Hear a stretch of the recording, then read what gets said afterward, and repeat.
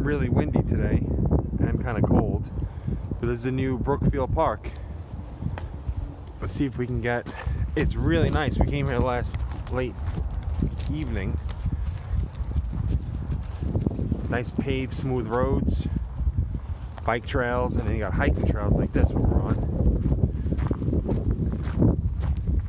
It was a great ride up on this site. It has all sorts of little trees that they had planted, and each tree, or different different trees that are here, they're all from different parts of the world. And they said within a few years, these things will really start to bloom.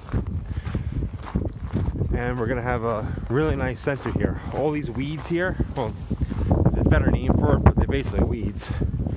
Supposedly they attract butterflies. So we're gonna have a butterfly farm here.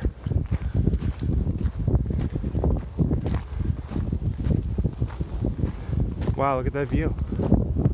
There's Arthur Kill Road over there. Richmond Road, Richmond Avenue is back that way. And the Fresh Kills area is over there.